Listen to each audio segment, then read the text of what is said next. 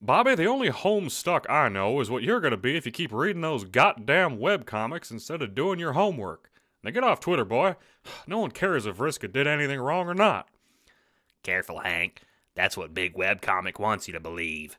What Pumpkin's so called LLC is embroiled in a conspiracy to read our thoughts through Patreon. I think it could be nice. Make some friends, do some zines.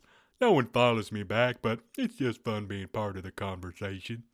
Boy, I tell you what, man, Vriska with the Redemption Arc, man, June Egbert, man.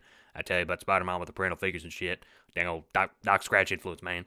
Bobby, the only Lord English you need to worry about is William Shakespeare. But, Dad, people are using the wrong pronouns for June Egbert online. I gotta. T-